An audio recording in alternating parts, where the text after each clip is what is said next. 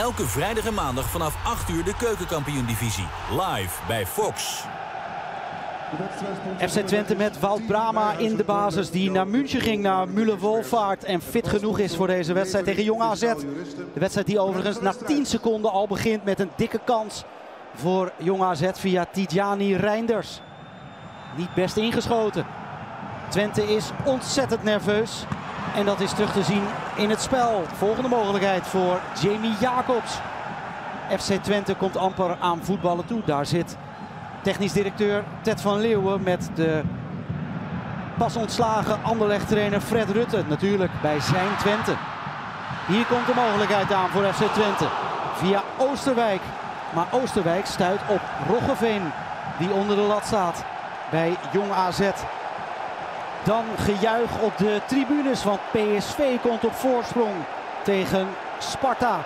En als Jong PSV die wedstrijd wint, dan hoeft FC Twente helemaal niet te winnen van Jong AZ om kampioen te worden en terug te keren in de eredivisie.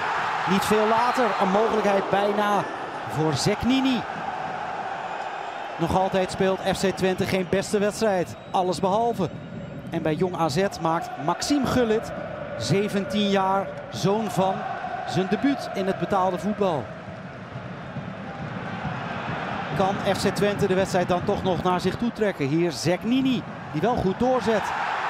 Migalik de basis, maar zijn inzet is ontzettend zwak. En dus scoort hij niet. Rafik, Zeknini, de Noor, daar zit uh, Koufo. Naast Eddy Achterberg, kampioen van Nederland. Koufo, negen jaar geleden. Een mogelijkheid nog voor Bijen in de 81ste minuut. Maar hij knikt de bal slechts uh, centimeters naast bij Roggeveen. 2-0 wordt het zelfs bij Jong PSV tegen Sparta. En dan maakt het al helemaal niet meer uit wat Twente doet. Twente speelt met 0-0 gelijk. Marino Puzic doet het met uh, FC Twente.